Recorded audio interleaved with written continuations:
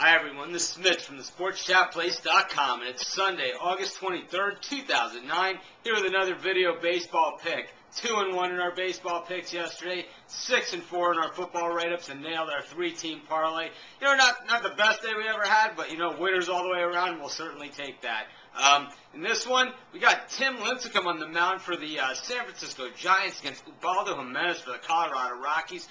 Big time game, big time pitching matchup big time wild card and uh, playoff implications in this one. The two teams battling it out for the uh, wild card, just trailing the Dodgers out in the National League West. Uh, um, take take uh, take it to the field in this one, and you know. Tim Lincecum is just a fabulous pitcher. Last week, last year's uh, Cy Young Award winner. Ubaldo Jimenez, he's really an up and comer. He is, uh, you know, just lights out as well, and uh, we've been all over both these guys all year.